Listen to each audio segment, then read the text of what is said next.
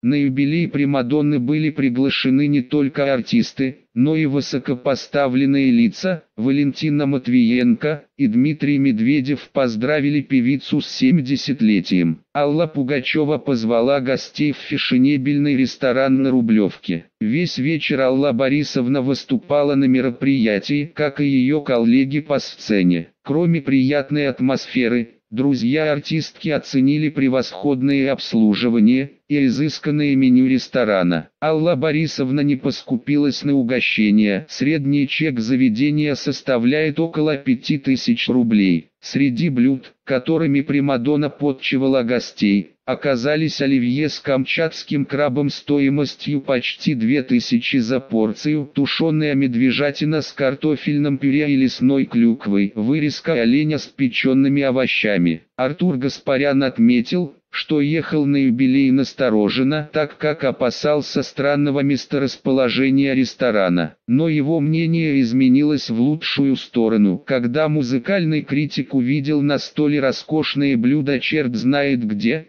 в подозрительном месте, обнесенном заборами, я опасался ехать по этой рублевке. Думал, все пельмены, стекляшка. Но нет, было роскошно. Я даже спросил, там такая кухня всегда, или в честь юбилея Примадонны, а мне ответили, что это основное меню поделился критик в программе «Ты не поверишь» на НТВ Алла Пугачева угощала гостей крабами и медвежатиной фото, Кадры с программы Гаспарин переживал лишь по одному поводу, половина блюд осталась несъеденной, так как угощений было слишком много. Критик был в восторге от праздника, всякие мы юбилеи видели, пафос, напыщенность, а здесь не было ничего лишнего. Это все аураллы заключил он. Не все артисты оценили кухню заведения. Так, Владимир Винокур признался, что вынужден был воздержаться от пиршества, я не ел там, я худею, пояснил юморист. Многие гости уехали достаточно рано, хотя остались довольны мероприятием. Но самые близкие Алле Борисовне люди были с ней до поздней ночи гости оценили изысканное меню на юбилей Аллы Пугачевой фото. Кадры с программы вся ее великая кучка оставалась до последней минуты, веселились, пели.